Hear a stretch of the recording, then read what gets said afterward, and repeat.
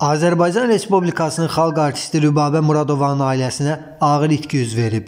Belə ki, mərhum xalq artistinin qızı Qəmər Mülk Muradova dünyasını dəyişib. Unikal olaraq xəbər verir ki, bu barədə onun nəvəsi sosial şəbəkədə məlumat paylaşıb. Bu gecə Rübabə Muradovadan mənə yadigar qalan nənəm Qəmər Mülk Muradova xərçəng xəstəliyindən 74 yaşında dünyasını dəyişdi deyə nəvəsi yazıb.